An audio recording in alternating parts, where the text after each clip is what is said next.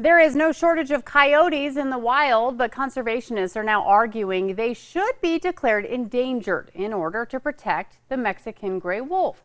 14 conservation groups have joined to file what is called a similarity of appearance endangered species petition. Now, wolves are significantly bigger than coyotes, in some cases double the weight, but the group claims illegal wolf killing is often the result of people shooting what they thought was a coyote only to discover it was actually a wolf. Now, because coyotes are not a protected species in New Mexico, they can be hunted at any time without a license.